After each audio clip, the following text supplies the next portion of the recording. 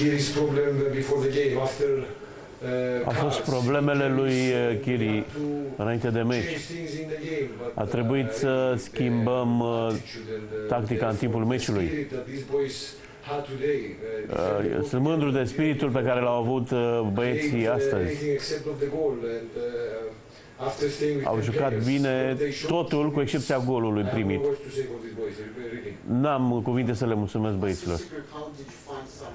Secret, how did you find some physical resources? Because I asked you Cum ați before the găsit, game, uh, cum ați găsit resursele fizice în această echipă? Cum ați reușit să scoateți Physically speaking, uh, uh, din punct de vedere fizic atât de mult? fall a little bit in the second half, uh, maybe. Yeah. Echipa parcă a căzut un pic în repriza a doua. Cred că e vorba și de spiritul pe care l-au băieții ăștia, de spiritul de echipă. E ce am vorbit în randam, în, uh, în vestiar. Și ceea ce discuți în uh, vestiar, vezi câteodată vezi uh, pe teren ca intensitatea efortului.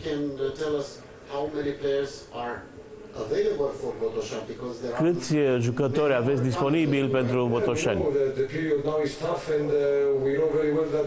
Perioadă grea, avem o, trecem o perioadă grea, printr-o perioadă grea. Avem jucători importanți care lipsesc, va trebui să găsim soluții. Nu știu exact care e situația. also have suspended players, right? Avem și jucători suspendați și jucători care pleacă la națională. I cannot count them and uh, we have to see for tomorrow. Let them enjoy a bit now and uh, Trebuie să vedem mâine, acum îi lăsăm să se bucure un pic, să savureze victoria. we can slowly slowly see who will be available for the next game with Bodoșani that it's again very important for us. I'm pretty sure that you're happy also for uh, uh, Niculescu, David Niculescu and also Bărligea. Sunt sigur că sunteți mulțumit, mulțumit de Bărligea și de Pretty sure Niculescu. motivated For, from the national team, right? Today Că pleacă we are amândoi happy la for all echipa the boys, națională. uh, and some boys that we have so many minutes, uh, okay, and the boy and the Berli and Migu that you said, but uh, all the attitude was collective, and uh, this what made the Da, difference. from our atitudinea time, lor a and, fost uh, corectă, Really, I'm au proud of jucat these colectiv, boys.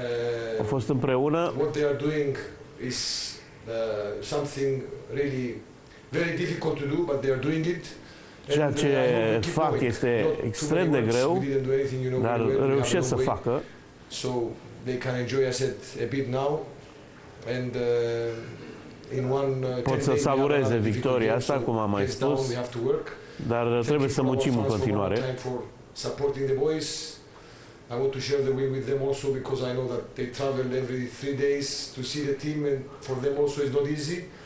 Nu e ușor pentru And, uh, jucători I want to care share the win with them as well. călătoresc And o dată good la luck to- trei to zile. control the future. Um, one last question.